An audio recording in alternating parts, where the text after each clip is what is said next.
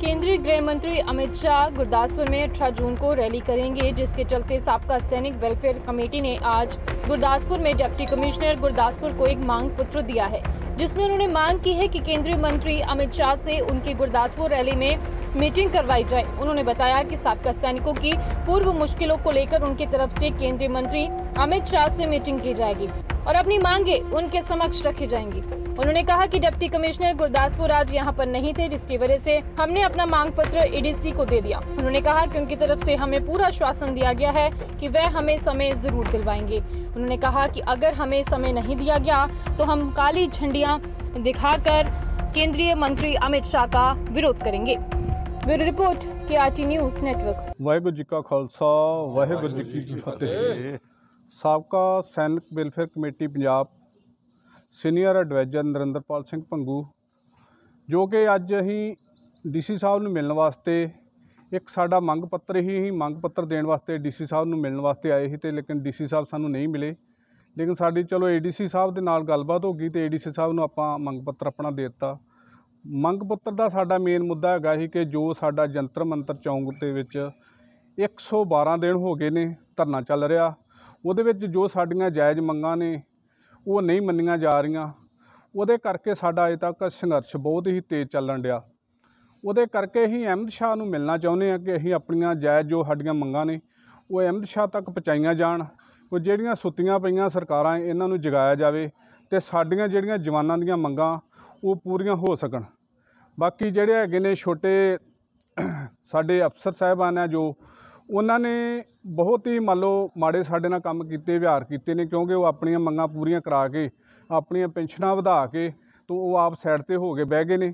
ਲੇਕਿਨ ਜਵਾਨਾਂ ਨੂੰ ਇਹ ਸੰਘਰਸ਼ ਲੜਨ ਵਾਸਤੇ ਹੁਣ ਮਜਬੂਰ ਹੋਣਾ ਪਿਆ ਵਾ। ਸਾਡਾ ਜਿੰਨਾ ਚਿਰ ਸਾਡਾ ਪੈਨਸ਼ਨ ਦਾ ਮੁੱਦਾ ਹੱਲ ਨਹੀਂ ਹੁੰਦਾ ਉਹਨਾਂ ਚਿਰ ਅਸੀਂ ਜਿਹੜਾ ਵਾ ਸੰਘਰਸ਼ ਜਾਰੀ ਰੱਖਾਂਗੇ, ਤੇਜ਼ ਰੱਖਾਂਗੇ। ਜੇ ਸਾਨੂੰ ਅਹਿਮਦ ਸ਼ਾਹ ਨੂੰ ਮਿਲਣ ਦਾ ਮੌਕਾ ਦਿੱਤਾ ਗਿਆ, ਠੀਕ ਹੈ। ਨਹੀਂ ਤਾਂ ਆਪਣਾ ਅਸੀਂ ਸ਼ਾਂਤਮਈ ਢੰਗ ਦੇ ਨਾਲ ਆਪਣਾ ਧਰਨਾ ਜਾਰੀ ਰੱਖਾਂਗੇ।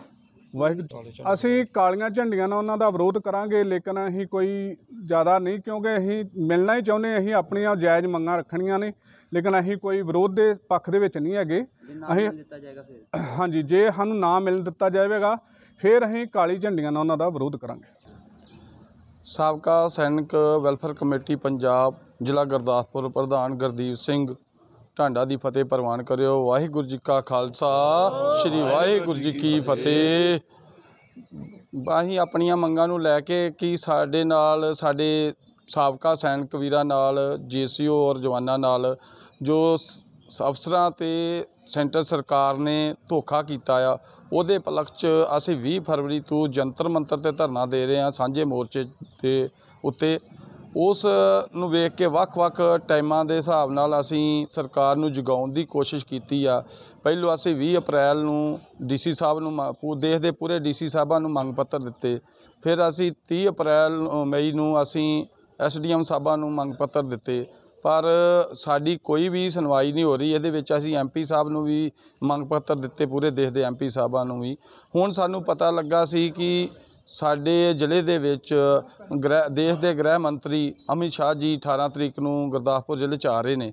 ਉਸ ਦੇ ਉਪਲੱਖ 'ਚ ਅੱਜ ਅਸੀਂ ਡੀਸੀ ਸਾਹਿਬ ਨੂੰ ਆਪਣਾ ਮੰਗ ਪੱਤਰ ਦੇਣ ਆਏ ਸਾਂ ਕਿ ਸਾਨੂੰ ਉਹਨਾਂ ਕੋਲੋਂ ਟਾਈਮ ਲੈ ਕੇ ਦਿੱਤਾ ਜਾਵੇ, ਜੋ ਕਿ ਅਸੀਂ ਉਹਨਾਂ ਨੂੰ ਆਪਣੀਆਂ ਮੰਗਾਂ ਦੱਸ ਸਕੀਏ। ਤੇ ਆਪਣਾ ਜਿਹੜੀ ਆ ਸਾਨੂੰ ਮੁਸ਼ਕਲਾਂ ਆਈਆਂ ਨੇ ਵਨ ਰੈਂਕ 1 ਵਿੱਚ, ਜੋ 112 ਦਿਨ ਹੋ ਗਏ ਸਾਨੂੰ ਜੰਤਰ ਮੰਤਰ ਤੇ ਧਰਨੇ ਨੂੰ ਬੈਠੇ ਤੇ ਨੂੰ, ਪਰ ਸੈਂਟਰ ਸਰਕਾਰ ਦੇ ਕੰਨਾਂ ਤੇ ਜੂ ਨਹੀਂ ਸਰਕੀ। ਇਸ ਲਈ ਅਸੀਂ ਚਾਹੁੰਦੇ ਸਾਂ ਕਿ ਸਾਡਾ ਗ੍ਰਹਿ ਮੰਤਰੀ ਨਾਲ ਸਾਬਕਾ ਸੈਨਿਕ ਵੈਲਫੇਅਰ ਵੈਲਫੇਅਰ ਕਮੇਟੀ ਦੀ ਪੰਜਾਬ ਦੀ ਮੀਟਿੰਗ ਕਰਵਾਈ ਜਾਵੇ। ਡੀਸੀ ਸਾਹਿਬ ਨੂੰ ਤੇ ਨਹੀਂ ਸਾਨੂੰ ਮਿਲੇ, ਸਾਨੂੰ ਹੁਣ ਏਡੀਸੀ ਸਾਹਿਬ ਮਿਲੇ ਆ ਉਹਨਾਂ ਆਸਵਾਸਨ ਦਵਾਇਆ ਆ ਕਿ ਤੁਹਾਡਾ ਉਹਨਾਂ ਦੇ ਪ੍ਰੋਗਰਾਮ ਦੇ ਵਿੱਚ ਟਾਈਮ ਰੱਖਿਆ ਜਾਵੇਗਾ ਤੇ ਤੁਸੀਂ ਆਪਣੀਆਂ ਮੁਲਕ, ਮੁਲ- ਜਿਹੜੀਆਂ ਮੁਸ਼ਕਲਾਂ ਆ, ਉਹਨਾਂ ਨੂੰ ਦੱਸ ਸਕੋਗੇ। ਦੂਸਰਾ ਇਹ ਆ ਕਿ ਸਾਹੀ ਫਤਿਹਗੜ੍ਹ, ਸਾਡੇ ਜ਼ਿਲ੍ਹੇ ਦੇ ਵਿੱਚ ਇੱਕ ਫਤਿਹਗੜ੍ਹ ਚੂੜੀਆਂ ਸਬ ਤਹਿਸੀਲ ਹੈ, ਜਿਹਨੂੰ ਡੀ ਨੋਟੀਫਾਈ ਕਰਕੇ ਡੇਰਾ ਬਾਬਾ ਨਾਨਕ ਨਾਲ ਮਿਲਾਇਆ ਜਾ ਰਿਹਾ ਹੈ। ਉਹਦੇ ਸਬੰਧ ਵਿੱਚ ਵੀ ਅਸੀਂ ਏਡੀਸੀ ਸਾਹਿਬ ਨੂੰ ਆਪਣਾ ਮੰਗ ਪੱਤਰ ਦੇ ਕੇ ਆਏ ਹਾਂ ਕਿ ਇਹਨੂੰ ਫੈਸਲੇ ਨੂੰ ਸਰਕਾਰ ਕੋ ਰੱਦ ਕਰਵਾਇਆ ਜਾਏ, ਸਰਕਾਰ ਤੱਕ ਸਾਡੀ ਆਵਾਜ਼ ਪਹੁੰਚਾਈ ਜਾਏ। ਜੋ ਫੈਸਲਾ ਰੱਦ ਨਹੀਂ ਹੁੰਦਾ, ਤਾਂ ਫਿਰ ਸਾਨੂੰ ਸਾਬਕਾ ਸੈਨਿਕ ਵੈਲਫੇਅਰ ਕਮੇਟੀ ਨੂੰ ਵੱਡੇ ਸੰਘਰਸ਼ ਲੜਨਾ ਪੈਣਾ ਆ। ਅਸੀਂ ਵੱਡੇ ਸੰਘਰਸ਼ ਲਈ ਲਾ- ਤਿਆਰ ਹਾਂ ਪਿਆਰ ਤਿਆਰ ਹਾਂ।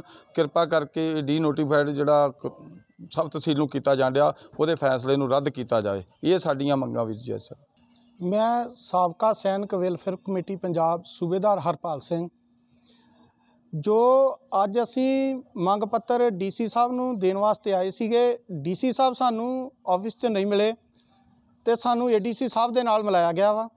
ਜੋ ਸਾਡੀਆਂ ਮੰਗਾਂ ਵਾ, ਇੱਕ ਤਾਂ ਜਵਾਨਾਂ ਦੀ ਓਆਰਓਪੀ ਦੇ ਲੈ ਕੇ ਮੰਗਿਆ ਕਿ ਜੋ ਸਾਡੀਆਂ ਮੰਗਾਂ ਕੇਂਦਰ ਸਰਕਾਰ ਨਹੀਂ ਮੰਨ ਰਹੀ ਉਹਨਾਂ ਨੂੰ ਅਸੀਂ ਜੋ ਅਹਿਮਦ ਸ਼ਾਹ 18 ਤਰੀਕ ਨੂੰ ਗੁਰਦਾਸਪੁਰ ਵਿੱਚ ਆ ਰਹੇ ਨੇ, ਉਹਨਾਂ ਨੂੰ ਮਿਲਣ ਵਾਸਤੇ ਅਸੀਂ ਆਪਣਾ ਮੰਗ ਪੱਤਰ ਦਿੱਤਾ ਹੈ। ਤਾਂ ਜੋ ਅਸੀਂ ਅਹਿਮਦ ਸ਼ਾਹ ਨੂੰ ਜਾਣੂ ਕਰਵਾ ਸਕੀਏ ਕਿ ਸਾਡਾ ਜੋ ਦਿੱਲੀ ਧਰਨਾ ਚੱਲ ਰਿਹਾ ਹੈ, ਉਹਦੀਆਂ ਮੰਗਾਂ ਨੂੰ ਨਹੀਂ ਮੰਨਿਆ ਜਾ ਰਿਹਾ। ਅਗਰ ਸਾਡੀਆਂ ਮੰਗਾਂ ਨਾ ਮੰਨੀਆਂ ਤੇ ਅਸੀਂ ਸੰਘਰਸ਼ ਜਿਹੜਾ ਵਾ ਹੋਰ ਵੱਡੇ ਲੈਵਲ ਤੇ, ਵੱਡੇ ਪੱਧਰ ਤੇ ਇਸ ਨੂੰ ਅਸੀਂ ਜਾਰੀ ਕਰਾਂਗੇ। ਅਗਰ ਜੇਕਰ ਸਾਨੂੰ ਅਹਿਮਦ ਸ਼ਾਹ ਦੇ ਨਾਲ ਨਹੀਂ ਮਿਲਾਇਆ ਜਾਂਦਾ। ਤੇ ਫਿਰ ਅਸੀਂ ਬੜੇ ਵੱਡੇ ਪੱਧਰ ਤੇ ਜ਼ਿਲ੍ਹਾ ਗੁਰਦਾਸਪੁਰ ਦੀ ਐਕਸ ਰਸਮੈਨ ਟੀਮ ਇਕੱਠੀ ਹੋ ਕੇ ਉਹਦਾ ਵਿਰੋਧ ਕਰੇਗੀ। ਇੱਕ ਸਾਡਾ ਮੰਗ ਪੱਤਰ ਇਹ ਸੀ, ਦੂਸਰਾ ਸਾਡਾ ਮੰਗ ਪੱਤਰ ਇਹ ਆ ਕਿ ਸਬ ਤਹਿਸੀਲ ਫਤਿਹਗੜ੍ਹ ਚੂੜੀਆਂ ਨੂੰ ਉਸ ਤਹਿਸੀਲ ਨੂੰ ਖਤਮ ਕਰਕੇ ਡੇਰਾ ਬਾਬਾ ਨਾਨਕ ਲਿਜਾਇਆ ਜਾ ਰਿਹਾ ਵਾ। ਵੀਰ ਜੀ, ਸਾਡੇ ਹਲਕੇ ਦੇ ਵਿੱਚ ਲੋਕਾਂ ਨੂੰ ਬਹੁਤ ਜ਼ਿਆਦੀਆਂ ਪ੍ਰੋਬਲਮਾਂ ਆਉਂਦੀਆਂ ਆ। ਕਦੇ ਤਾਂ ਪਹਿਲਾਂ ਕਾਫੀ ਲੰਮਾ ਸਮਾਂ ਬਟਾਲੇ ਯੁੱਧ ਕਰਨਾ ਪਿਆ ਤੇ ਮੰਗਾਂ ਲੈ ਕੇ ਅਸੀਂ ਤਹਿਸੀਲ ਜਿਹੜੀ ਸੀ, ਸਾਨੂੰ ਫਤਿਹਗੜ੍ਹ ਚੂੜੀਆਂ ਮਿਲੀ।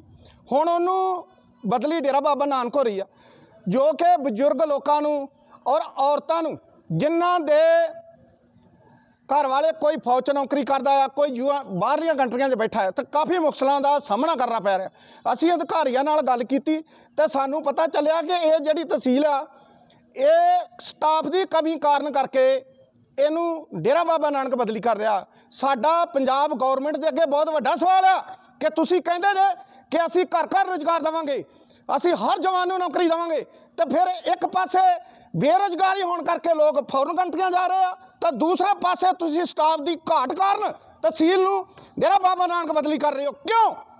ਇਹ ਜੋ ਸਟਾਫ ਦੀ ਘਾਟ ਆ, ਇਸ ਨੂੰ ਪੂਰਾ ਕੀਤਾ ਜਾਵੇ ਔਰ ਸਾਡੀ ਤਹਿਸੀਲ ਫਤਿਹਗੜ੍ਹ ਚੂੜੀਆਂ ਵਿੱਚ ਹੀ ਰਹਿਣ ਦਿੱਤੀ ਜਾਵੇ ਅਗਰ ਸਾਡੀ ਤਹਿਸੀਲ ਨੂੰ ਡੇਰਾ ਬਾਬਾ ਨਾਨਕ ਵਿੱਚ ਤਬਦੀਲ ਕੀਤਾ ਗਿਆ ਤਾਂ ਅਸੀਂ ਬਹੁਤ ਵੱਡੇ ਪੱਧਰ ਤੇ ਇਹਦਾ ਵਿਰੋਧ ਕਰਾਂਗੇ ਔਰ ਆਉਣ ਵਾਲੇ ਸਮੇਂ ਦੇ ਵਿੱਚ ਜੋ ਪੰਜਾਬ ਦੀਆਂ ਸਰਕਾਰਾਂ ਆ ਕੇਂਦਰ ਸਰਕਾਰਾਂ ਨੂੰ ਪਤਾ ਚੱਲ ਜਾਏਗਾ ਕਿ ਫਤਿਹਗੜ੍ਹ ਚੂੜੀਆਂ ਹਲਕੇ ਦੇ ਲੋਕ ਇਹਨਾਂ ਦੇ ਪ੍ਰਤੀ ਕਿੰਨੇ ਨਾਰਾਜ਼ ਨੇ एवन हैंडीक्राफ्ट मेटल वर्ल्ड की दुनिया में आपका स्वागत है किसी भी तरह की इमारत बनाने के बाद चिंता होती है कि उसे सजाने की।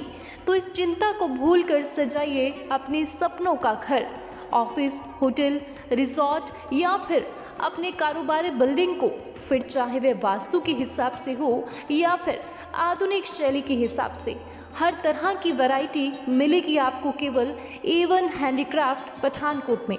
The metal decor world and the largest stock keeping unit of metal decor in the region Avon handicraft Pathankot है मैन्युफैक्चरर्स कस्टमाइजर्स इनोवेटर्स थोक suppliers and wholesaler Avon handicraft Pathankot की सबसे बड़ी खासियत है कि इनके द्वारा बनाया गया हर प्रोडक्ट जंग रहित प्रोडक्ट है।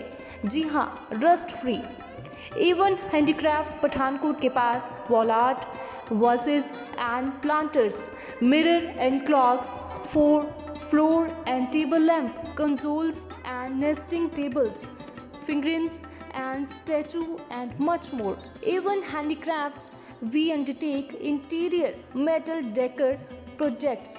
ये सब मिलेंगे आपको एक ही छत के नीचे। पंजाब, हिमाचल प्रदेश और जम्मू कश्मीर के लिए भी थोक और परचून की सेवा उपलब्ध है।